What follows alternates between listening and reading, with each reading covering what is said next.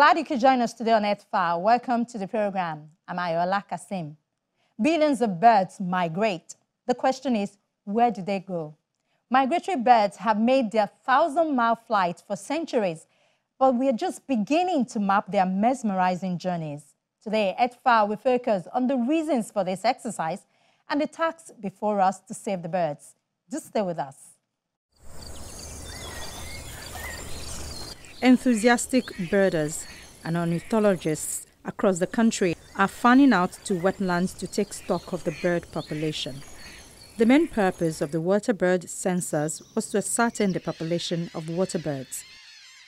During the last waterbird counts conducted, an estimated 166,469 waterbirds across 212 species were counted, of both resident and migratory birds. At the moment, birders are working to give verve to Nigeria's important bird and biodiversity areas. Several, several birds actually. Dr. Shola Iwajomo is one of them and he lectures at the University of Lagos in Akoka. Now, one of the things with migratory birds is that they are born with an innate capacity to migrate.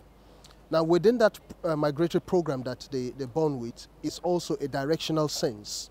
So they have something like a map within their brain that tells them that at certain time of the year, you're supposed to fly south or southwest and end up somewhere in Africa.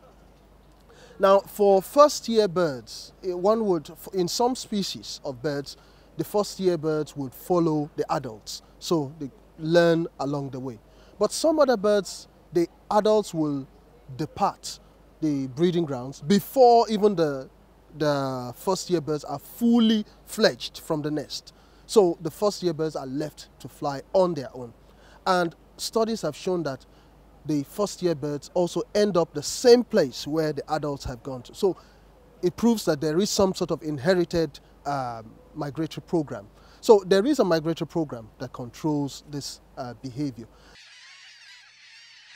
Birds undertake remarkable journeys navigating across land and sea to find refuge as the seasons change, from endurance flights exceeding 10,000 kilometers by bar-tailed godwits to the annual relay of Arctic terns, which fly the equivalent of the distance to the moon and back three times during their lives. Other examples include the sooty shearwater, which flies 64,000 kilometers from the Falkland Islands to the Arctic and the tiny blackpoll warbler, which flies for three days non-stop across the open ocean from eastern Canada to South America.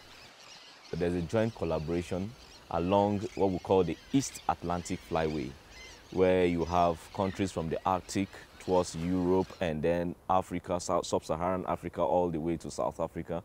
Um, there's a, a, collaborated effort in counting uh, water birds as they migrate. This is to monitor their population because birds, they breed in the Arctic and in Europe, in the temperate region, and then they spend their winter in the subtropical Africa. Uh, so because of that, as I'm in sub-Saharan Africa, so because of that, there's a need to monitor their population. There's a, it has been noticed worldwide that the population is declining. And because of that declining population, there was a need to monitor them. And then it, it's, a, as I said, is a, is a collaborative effort so that we don't just monitor the breeding sites and then monitor the, um, their wintering sites differently. So we monitor all the sites at the same time so that we'll be able to have the, uh, at least an, an, an estimate, a rough estimate of the numbers that we can actually rely on. So that is what is happening. So every year between January and February, organized by uh, Wetlands International, um, birds are monitored along the East Atlantic Flyway. That is all all the countries along the coast on the eastern part of the Atlantic Ocean monitor birds as they fly from uh, their wintering from their wintering ground to their breeding ground every year. A 2015 study on migratory birds called for a greater international collaborative effort to save the world's migratory birds, many of which are at risk of extinction due to loss of habitat along their flight paths.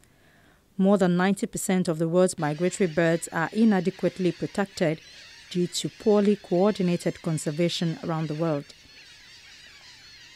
The research which included using BirdLife International's data on migratory bird distributions and important bird and biodiversity areas, found huge gaps in the conservation of migratory birds, particularly across China, India, and parts of Africa and South America.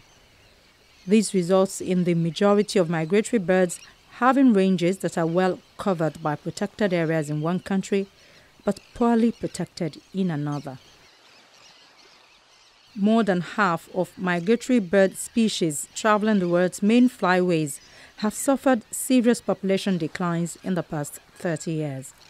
This is due mainly to unequal and ineffective protection across their migratory range and the places they stop to refuel along the routes. A typical migratory bird relies on many different geographic locations throughout its annual cycle for food, rest, and breeding. So even if we protect most of their breeding grounds, it is still not enough. Threat somewhere else can affect the entire population. Migratory birds use, they need fuel for this journey. So they store up fat, which is basically uh, gotten from eating a lot. So by eating a lot, they store up excess fat, and that fat is converted into mechanical energy as they fly.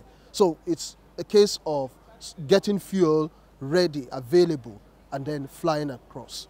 Now, the journey itself is quite tasking because you have two major barriers. For birds that come all the way from Europe into Africa, you have two major barriers to cross.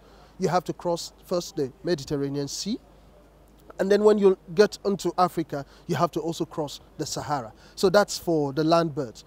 Some other birds will fly along the coast.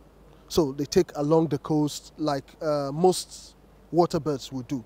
They fly along the coast of Africa down all the way to South Africa. So it's, it's a case of different strategies for different species, but the underlying mechanism is quite the same that you have a migratory program that controls migration and also you have adaptation to store fat which is required for the journey.